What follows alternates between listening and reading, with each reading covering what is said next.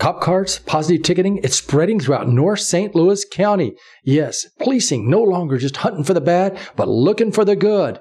Things are changing. Be sure you stay tuned. I'm Larry Rice, and this is Here's Help.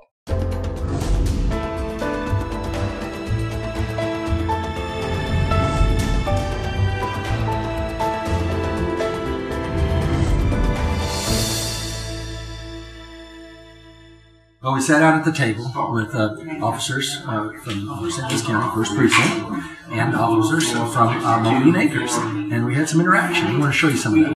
We're excited about how the positive ticketing program is beginning to move throughout North St. Louis County. First, starting Moline Acres, and what's been exciting about working with Moline Acres, and we have Chief Ursuline here, and Sergeant, uh, I guess, Policeman Ford. I don't know the official title, but anyway.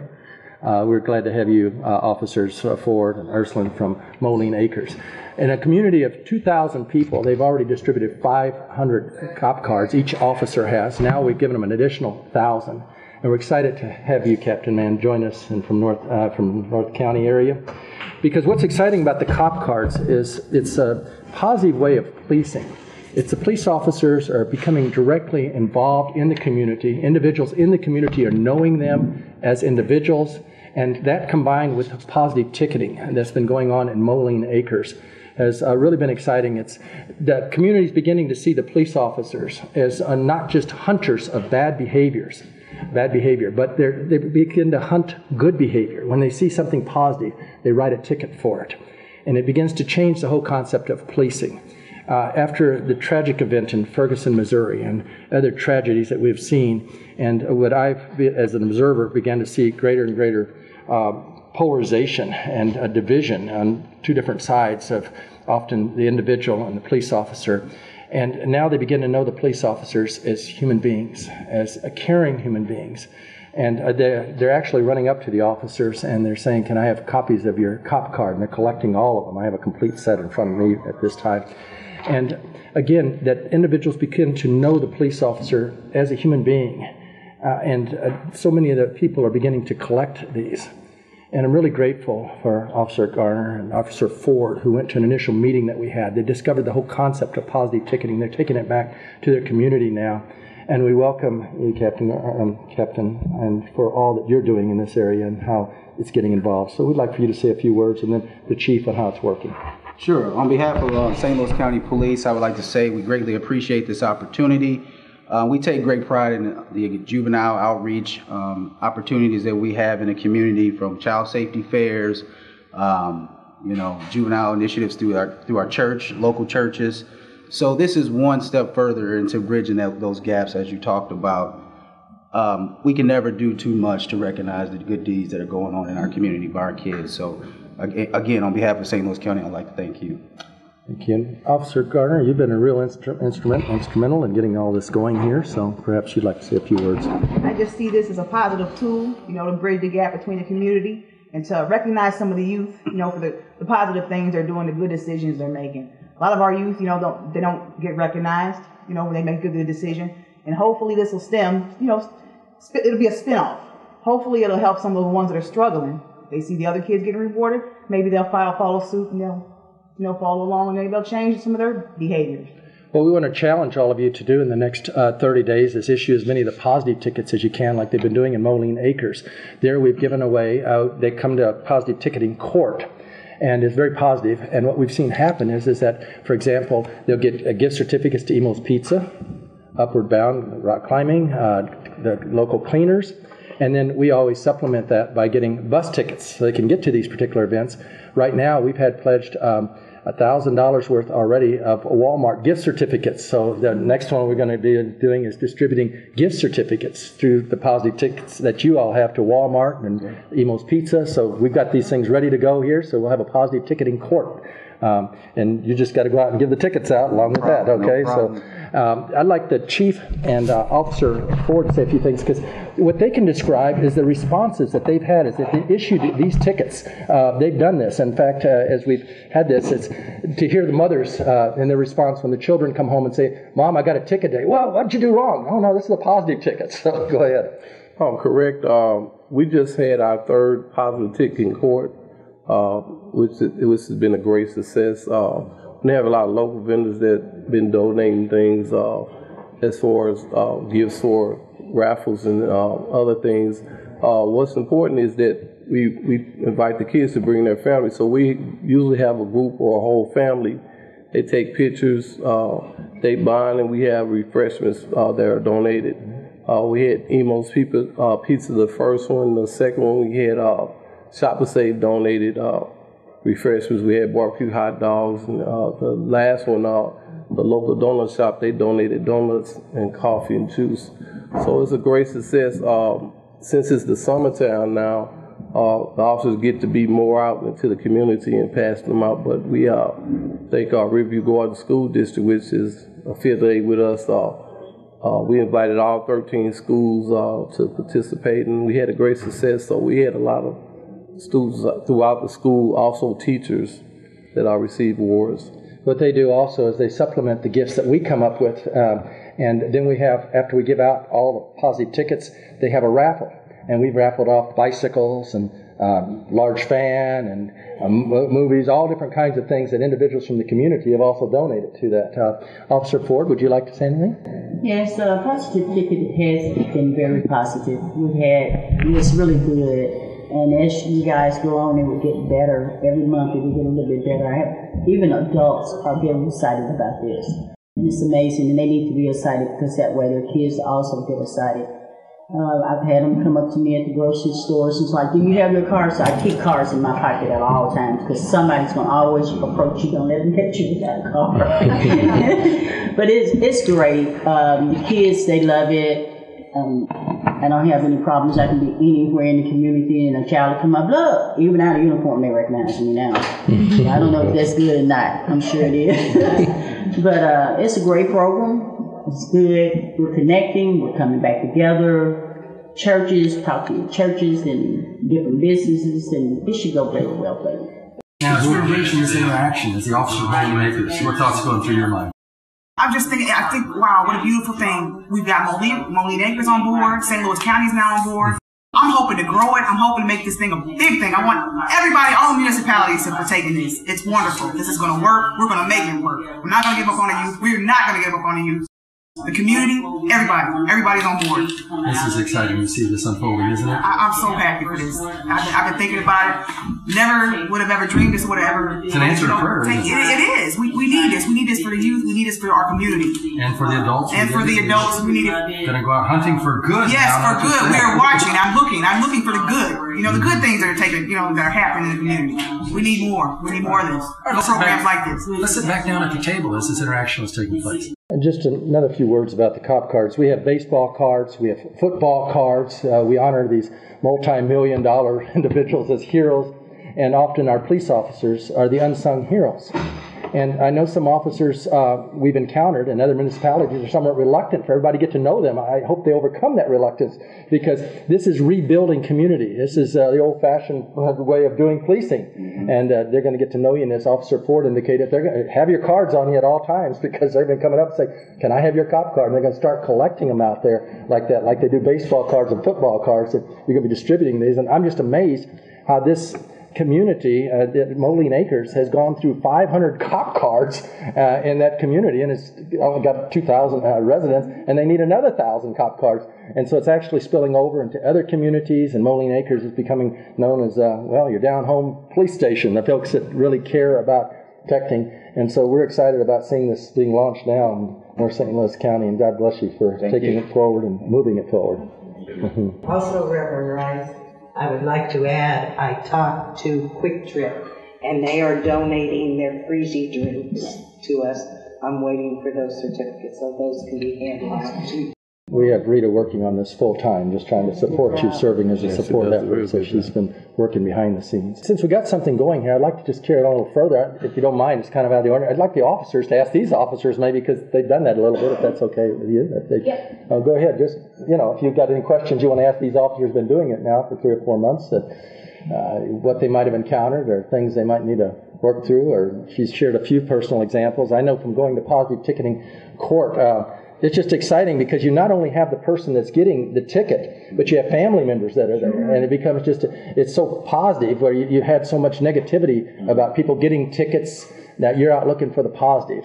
And so this becomes a great event. So we're looking forward to your first positive ticketing court, perhaps in the next 30 days. We're going to line up a time, we're going to line up a place. Uh, we'll uh, you'll give us a week in advance. Everybody you've issued positive tickets to, we'll have it there. We'll register them, and uh, it's going to be a great event. We found it just really bringing the community together. Absolutely. And we like to do it at one of our town hall meetings. We generally get 75 to 100 um, community leaders and um, residents to these meetings to talk about crime trends and quality of life issues. So I think this is a per- perfect opportunity to present the, the kids for their good deeds in front of the community in which they live so that you can see the other side of the juveniles and, and kids as they, um, you know, do the good deeds throughout the community. And as he indicated, um, as the chief indicated, we also involve adults in this. We've had senior citizens that have received this, and so we'll adjust the gift. Uh, the last one we had, we had rock climbing and we had cleaners. Well, we didn't give the rock climbing to the, uh, to senior citizen. They were happy to get the cleaning, and then they also got all of them got metro uh, tickets. So we. we come up with that. So again, we're working hand in hand helping you. So we know you have limited budgets, so we want to try to help you get these gifts together. But as you do this in the community, if you can get others to donate whatever the items are, then we can also have raffles, which add to the excitement of it all. Uh, we also, um, we built a, a collage board. Uh, so, um, we tried first taking pictures at the school, but we found it's more easier if the parents bring them in to our positive court and we take a picture of them with their ticket. But we post all different pictures on the collage board. We have all our cards. I, I was gonna bring it, but I, I forgot to bring, have all our cards just lined up on the collage board so everybody can see it. Uh, the first class of court, we just set cards out. And, and most of the kids got their favorites. So, uh, Officer Ford is one of the favorites. They take all my cards. uh, so, uh, you know, some officers, uh, for some reason, they, they generate more uh, to the officers that that's uh, not saying that they're mean, but it's just some officers that their personality is different. So, and, yeah, it is. You gotta go through it, right? You can say right. So, uh, you know, so uh, that that helps out a lot. And, uh, like like I said, we uh, we get we gave them out for people beautifying their homes, cleaning their yards. Uh, we just had a young lady that uh, won first place in a poetry contest, and her poet got put in a, published in a book. We gave her a frame with her poetry in there. We let her read it to them. So uh, we had a young lady that uh, started a fundraiser for a schoolmate whose brother who died who didn't have money for a funeral. So those are the ones that stand out. But the little ones, if you got a real small elementary school, those are the ones that are really uh, grasping and uh, is real excited, you know, uh, scared and excited. Uh, but the parents, uh, they don't want to take pictures. Get ready to take pictures. They want their child to stand next to you and take a picture. So um, uh, when you might go on 7-Eleven, run up, hey, Chief Urson, you know, and that's what you want. You you don't want them uh, to be scared of us. We're here to serve and protect. We're here to, you know, we're here for our community. And, and that's why it's a, a great program. We want to encourage other municipalities to consider this because, particularly if there is a potential volatile situation, and that individual that's going through this tremendous frustration, depression, whatever it is, tension, knows the officer, it can perhaps be de escalated rather than escalated.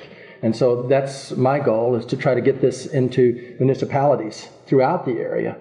And uh, I, I see it as positive policing uh, something you're already doing, but it emphasizes and gives that notoriety that's necessary and builds that personal connection. It's just one more thing in all the other good stuff that you all are doing to bring it out into the world. So again, thank you for moving this forward. Thank you for stepping up and uh, doing this at this time. And uh, hopefully other municipalities will recognize this. And if they do, we'll just have Rita and the rest of the team work that much harder to get more gifts to give out. Okay? Thank you very much. Thank you. Do you want to hold up your cards? Everybody want to hold their cards, and then we'll give everybody. Oh, we, we, they want to see your card, and then they'll know it's in a box. seen enough of my cards, no picture.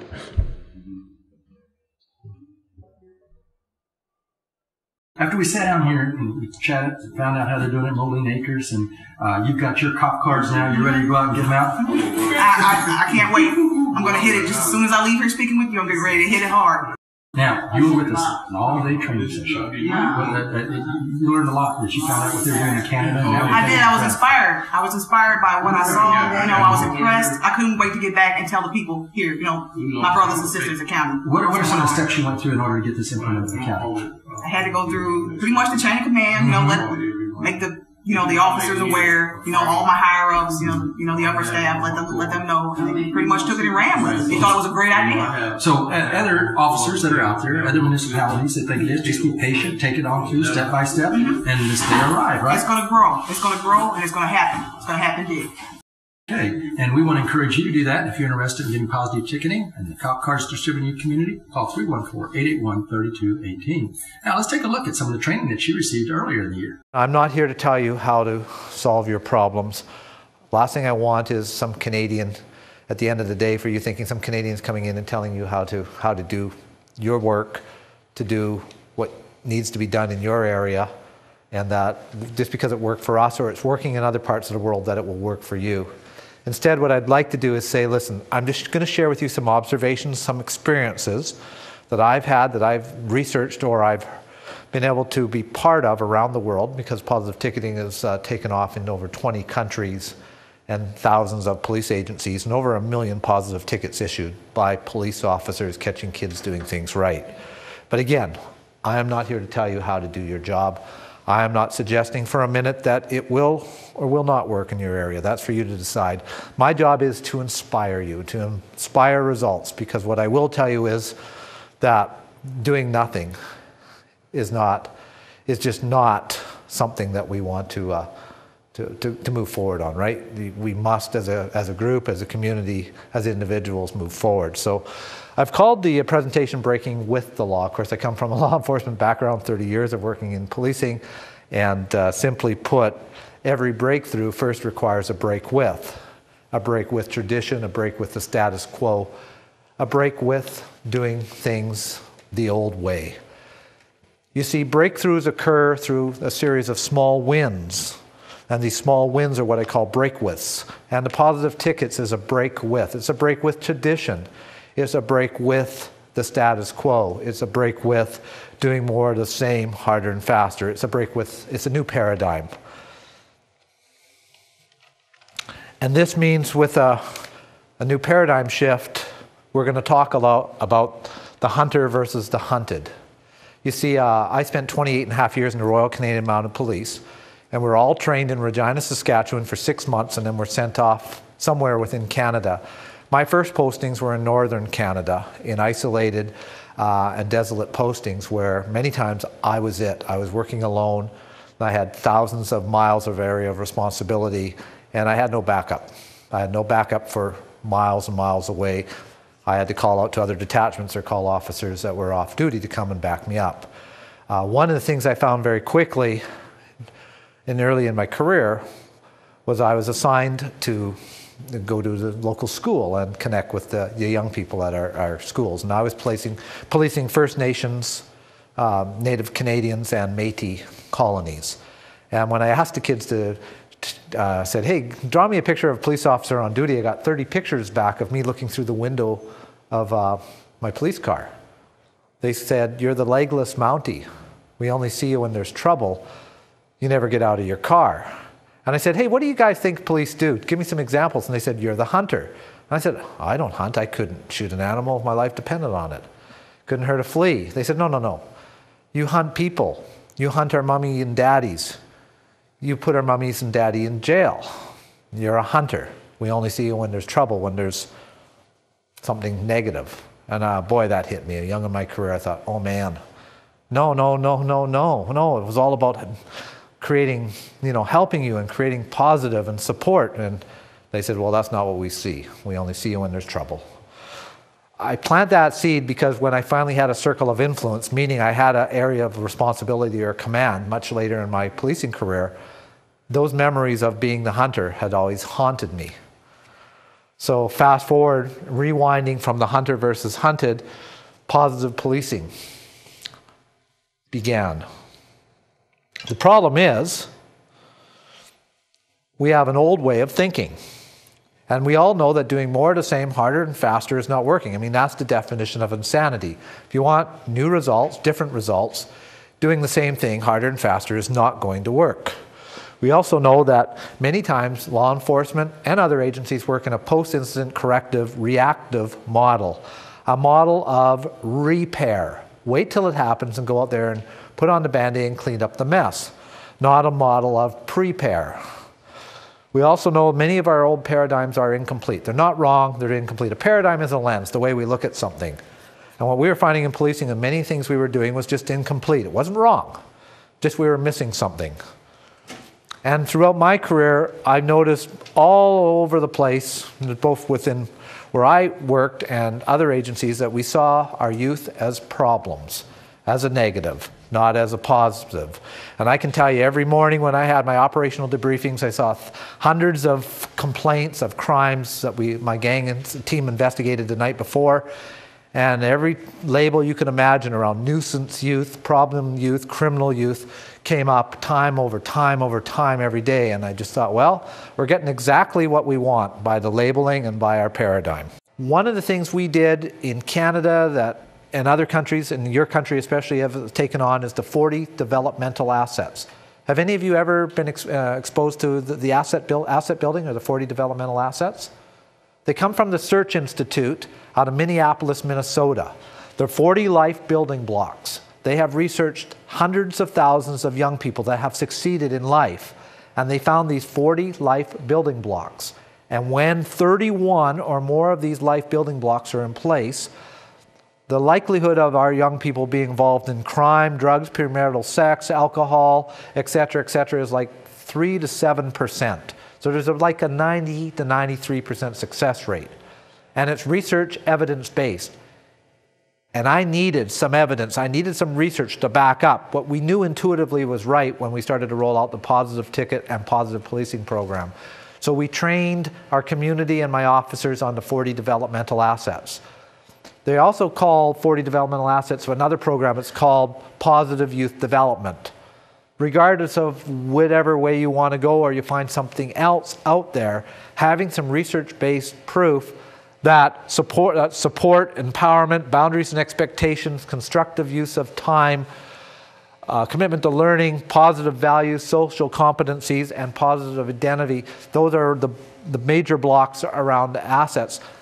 That's important to have in a young person's life. And we, as in the policing business, can be one of the asset builders because it takes three to five caring adults to raise a young person. Let me say that again. It takes research has shown it takes three to five caring adults. It could be the parents, it could be the grandparents, it could be a coach, it could be a police officer, it could be someone from church. I mean, and some of our young people today, they may not even have one caring adult. So that's where we said, what we, can we do within policing? To be an asset builder. And it's about building relationships because at the end of the day, the relationship builds the trust. And when you have the groundswell of trust, a lot of movement can go forward in some real tough and rough environments, which I was in at the time because it wasn't a cakewalk running a major city policing with all the issues of both cultural diversity and all the major crime issues that come with a big city, even in Canada. And it's happening all over the place. I'm just sharing with you just what I experienced. We found out that the ticket, ticket was secondary. The token, the actual free item, the free event, was secondary because what we didn't realize was that we heard from so many of our young people, I'm never going to use this ticket because a police officer said I was a good kid. She said to me, I can be anything I want to be, that I matter, that I make a difference. I'll never use this ticket. And as we heard this more and more, we had to recreate our ticket differently. So it was almost like a, you could rip off half to keep as your trophy, the other half to actually do the event or get the free pizza or whatever, because what we didn't realize was that our young people were telling us no one's ever actually really said we're good or recognized or rewarded us for good or not enough, anyways, especially the police. That's the last group you'd think that would actually be out there hunting for the good in somebody instead of the bad. I think at the end of the day, the, the biggest challenge I face that you probably will face it at every crossroads on the path that leads to the future, tradition has placed 10,000 men and women to guard the past, is the status quo Listen, ladies and gentlemen, crime pays. The business of crime is a multi billion dollar business. For many, the reduction of crime would mean less money in their pocketbooks. But at the end of the day, what are we about? You know, and what is it about? I can tell you one thing that I found that through my experience that working with young people, that trying to build a positive relationship with young people opened up all kinds of opportunities and doors and built trust. And at the end of the day, I was all about tr- uh, having trust in the community because without trust, I couldn't do anything, nor would I ever be supported in anything we did. And uh, thank you very much. I'm called Corporal Ford with the Moline Acres Police Department. Today we're meeting with St. Louis County, and they have joined on the team with the positive tickets, and that's wonderful. Right at us, we have Council Point, and that's part of what the county patrol. So with them being right there at the city of Moline Acres, and they're doing positive ticket as well as we're doing positive ticket, that's just bringing us together and bonding together on this positive act. So I think it's going to be wonderful. We had wonderful things to come out of this, and I cannot wait till they have their first court. I'm sure that they're going to take and run with it and have a great time and trying to get things with the community to bond. The children love it. Um, I think they're going to do a function at their basketball court and different things that they already got going on. So it should go very well, and it's good to have somebody else to come on board and see that this is a positive for the whole community. Hi, I'm Chief Dwayne Urson, the Moline Acres Police Department. Uh, today, uh, Moline Acres and St. Louis County uh, has joined together to continue the positive ticketing program, which we have been doing for the last three months. Uh, um, we have a um, collaboration with St. Louis County. Uh, we're surrounded by St. Louis County, so it's a great thing that they're joining on board with the positive ticketing program uh, to create a, a, stronger bond between the community and the law enforcement that serves and protects. Uh, protects. Um, is, uh, it was a great meeting, and uh, hopefully it, will be as positive uh, for us, for St. Louis County, as it has been for us. So we hope to continue, and hopefully uh, other departments will join on with the program. Officer Ford, Chief Ursuline from Moline Acres, inviting St. Louis County. Ward Clapham sharing a teaching because it's been done in Canada and now it's in America. Things are happening, and it's so exciting to see it happen. If your municipality has not gotten involved, you need to do it now. You can call 314 881 3218, contact your mayor, your chief of police, New Life Evangelistic Center continues to reach out, helping positive policing to unfold, where policemen are no longer sitting in the car, just waiting for somebody to do something bad so they can jump on them. Instead, they're out looking for good, and they're rewarding that good. And New Life Evangelistic Center and its team of workers are out there gathering up gifts so when police issue a positive ticket, a gift can be given rather than just a fine taken. This is the opportunity you have a part of. Yes, an opportunity to be a part of this historical movement that's now sweeping throughout North St. Louis County. Again, for further information, and again, if you'd like to get directly involved, give us a call 314-881-3218 this program is so exciting you can come to volunteer meetings on sunday afternoons at 2 p.m at 1411 locust street in st louis missouri or at 2 p.m in uh, at, at, on wednesdays here at 1411 locust street in st louis now those of you in Joplin, Springfield, Marshfield, or other locations, if you'd like to get us started in your community, we'd be happy to come and help it move forth there. Now, please keep this outreach of the New Life Evangelistic Center in your daily prayers. It's one of many things that God is using at this particular time to bring about positive change, to bring about hope, to bring about healing in our communities. Continue to pray for the work of New Life Evangelistic Center. And the cop cards, what an alternative to baseball cards, football cards, getting to know police officers on a first hand basis. It's exciting and it's continuing to unfold, and you have an opportunity to be a part of it.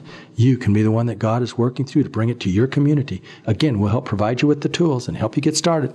Call us at 314 881 3218. Remember, it's your tax deductible gifts to New Life Evangelistic Center and your prayers which make all of this possible. Please send them P.O. Box 473, St. Louis, Missouri, that's 63166. And let your light so shine before men and women they may see your good works and glorify our Father who is in heaven.